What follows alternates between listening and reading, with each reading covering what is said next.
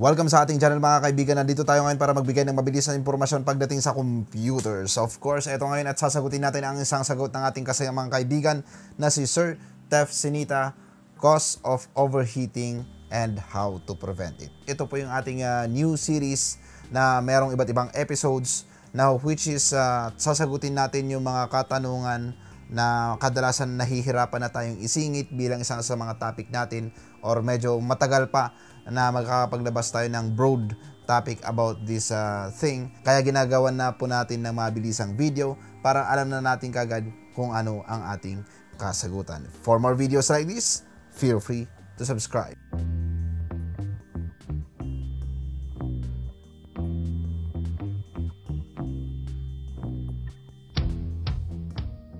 Okay, so Uh, ano ba yung mga dahilan ng pag-overheat? Ngayon, alamin natin mga kaibigan or dapat nating malaman na lahat ng electronic device is umiinit po yan. Mapa TV, ref, or ano mga appliances na pinapasukan ng kuryente or nag-ooperate na gamit ng kuryente, eh lahat po yan is umiinit. Ganon din po ang ating computer, umiinit din po yan mga kaibigan. And ang ilan sa mga kadahilanan kung bakit nga po nag-overheat ang isang computer is unang-una, hindi na po nako-compensate yung thermals na nag-generate ng ating uh, computer ng mga cooling fans or cooling system na meron tayo. Like for example, kulang tayo sa fans na nilagay or in-install sa ating chassis. Pangalawa, uh, yung aftermarket cooler na napili natin is mali o kaya naka-stock cooler lang tayo at uh, yung unit naman natin is uh, uh, always uh, nasa 100% load dahil nga nagre-render tayo.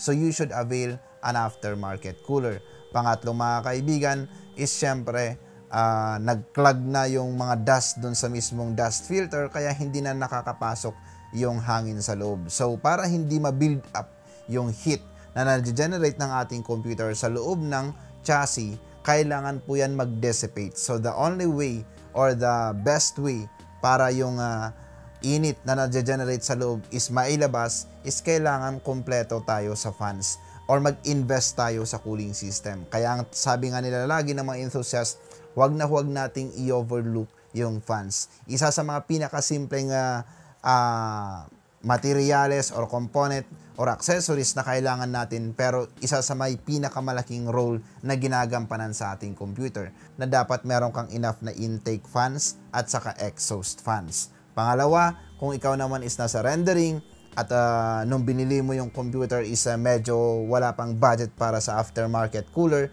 dapat uh, yun na yung isa sa mga i-priority mo na pagdating ng araw, kailangan makabili ka ng liquid cooling system o kaya makabili ka ng air cooling system. Ngayon, lagi natin pagkatandaan mga kaibigan na kahit gaano kabilis ang ating computer, maging Ryzen 7 or i7 man yan, kung hindi po siya stable nang dahil sa thermal uh, reasons or uh, yung performance niya is uh, biglang nagda-drop dahil nga sa thermals is uh, hindi rin magiging smooth yung experience mo. So para ka rin gumagamit ng isang mabagal lang na computer pag ganun po ang nangyayari. Now to give you a slight overview kung bakit nga po ito uh, nangyayari technically yung pag-overheat or yung pag-iinit sa loob ng computer is ang computer po natin is not perfect. Ibig sabihin mga kaibigan, yung components like any other appliances wala pong perfect. Lagi po yan may resistance. So itong resistance ang dahilan kung bakit merong nabibuild up na heat. Merong mga nawa-waste na energy sa loob ng ating computer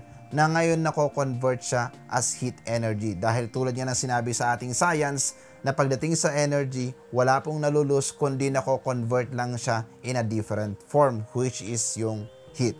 So ayan po mga kaibigan ang ating konting kalaman about sa mga computer kung bakit umiinit and bakit umaabot sa punto na nag-overheat at saka some tips on how to prevent overheating. For more videos like this, feel free to subscribe.